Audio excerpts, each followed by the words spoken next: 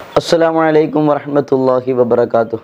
പ്രിയപ്പെട്ട മുഅ്മിനീങ്ങളെ ഒരു മനുഷ്യൻ അവന്റെ ജീവിതത്തിൽ ഏഴ് വചനങ്ങൾ സൂക്ഷിച്ചു കഴിഞ്ഞാൽ അവന്റെ പാപങ്ങളൊക്കെ പൊറുക്കപ്പെടും.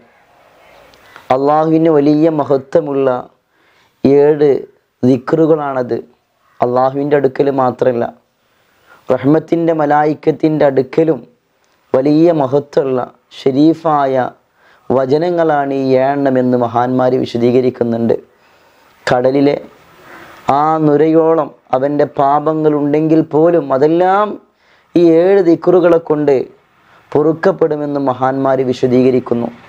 ഒന്നാമതായി പറയുന്നു എന്ത് നല്ല കാര്യം തുടങ്ങുമ്പോഴും തുടക്കത്തിൽ ബിസ്മില്ലാഹിർ റഹ്മാൻ റഹീം എന്ന് ചൊല്ലുക. ഇതിന് ഒരുപാട് തെളിവുകളുണ്ട്. നമുക്കറിയാം ചെറുപ്പത്തിൽ തന്നെ അതിന്റെ മഹത്വവും അത് ചൊല്ലി പഠിക്കുന്ന ആളുകളാണ് നാം ഒക്കെ എന്ത് നല്ല കാര്യങ്ങളാണെങ്കിലും തുടക്കത്തിൽ ബിസ്മി ചൊല്ലുക. അതിന് വലിയ മഹത്വമുണ്ട്.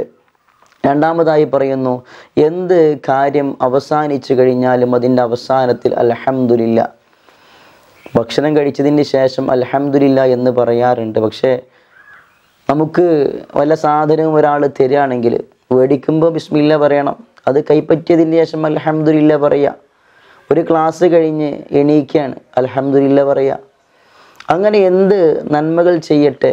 അതിന് ശേഷമൊക്കെ അതിൽ നിന്ന് വിരമിച്ചതിന് ശേഷം അലഹമ്മദില്ല എന്ന് റബ്ബിനെ സ്തുതിക്കുക. അത് വല്ലാത്ത മഹത്വമുള്ള ദിക്കറാണ്.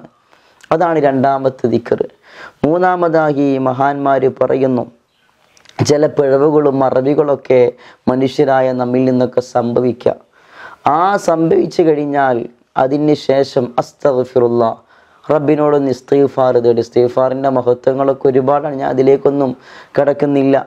അസ്തഫിറുള്ള അങ്ങനെ ചെറിയ ചെറിയ വിഷയം ഉണ്ടാകും. അങ്ങാടിയിലൂടെ നടക്കുമ്പോൾ സാഹചര്യങ്ങൾക്ക് അടിമപ്പെട്ടുകൊണ്ടൊക്കെ ചില ഹറാമിയത്തൊക്കെ ചിലപ്പോൾ കണ്ടേക്കാം. അങ്ങനത്തെ സാഹചര്യമാവട്ടെ അസ്തഫിറുള്ള മനസ്സറിഞ്ഞ് അസ്തഫിറുള്ള അസ്തഫിറുള്ള എന്ന് പറയുക. അതും വലിയ മഹത്വമുള്ള ദിക്കറാണ്. വീണ്ടും മഹാന്മാർ പഠിപ്പിക്കുന്നു ഇൻഷാ അള്ളാ. പലപ്പോഴും നാം സംസാരിക്കുമ്പോൾ ഞാൻ നാളെ വരാട്ട. നമുക്ക് നാളെ കാണാട്ട. ഞാൻ വീട്ടിലേക്ക് പോട്ടെ. മദ്രസയിലേക്ക് പോകുന്ന വിദ്യാർത്ഥികൾ ഉമ്മ ഞാൻ മദ്രസയിൽ പോവാണ്. എന്ന് പറഞ്ഞ് നിർത്താൻ പാടില്ല. അതിന്റെ അവസാനം ഇൻഷാ അല്ല അല്ല ഉദ്ദേശിച്ചാൽ ഞാൻ പോയി വരും. ഞാൻ നാളെ ഗൾഫിൽ പോകും ഇൻഷാ അല്ല അല്ല ഉദ്ദേശിച്ചു കഴിഞ്ഞാൽ നാളെ ഞാൻ ഗൾഫിൽ പോകും ഇൻഷാ അല്ല എന്ത് ഭാവി കാര്യങ്ങൾ പറയുമ്പോഴും അതിന്റെ അവസാനത്തിൽ ഇൻഷാ അല്ല പറയും. വലിയ മഹത്വമുള്ള ദിക്കറാണ് ഇൻഷാ അല്ല അള്ളാഹു അതൊക്കെ ചെല്ലാനുള്ള തൂഫിയൊക്കെ നൽകട്ടെ. അതുപോലെ തന്നെ വെറുക്കപ്പെട്ട വല്ല കാര്യങ്ങളൊക്കെ കണ്ടു കഴിഞ്ഞാൽ അലീം എന്നുള്ള ദിക്കുറും ചെല്ലുക. അതിനും വലിയ മഹത്വമുണ്ട്. റബ്ബിന്റെ അടുക്കൽ വലിയ സ്ഥാനമുള്ള ദിക്കറുകളാണ് ഈ ദിക്കറുകളൊക്കെ അതുപോലെ തന്നെ മുസീബത്തുകൾ ആഫത്തുകൾ ബുദ്ധിമുട്ടുകൾ അവൻ കേൾക്കുന്ന സമയത്ത് ഇന്നാലില്ലാഹി വ ഇന്ന ഇലൈഹി റാജുൻ എന്ന് പറയാ. മരണം അതല്ലെങ്കിൽ മരണ വാർത്തകൾ കേൾക്കുമ്പോഴാണ് ഇന്നാലില്ലാഹി വ ഇന്ന ഇലൈഹി റാജു എന്ന് നമ്മൾ പറയാറുള്ളത്.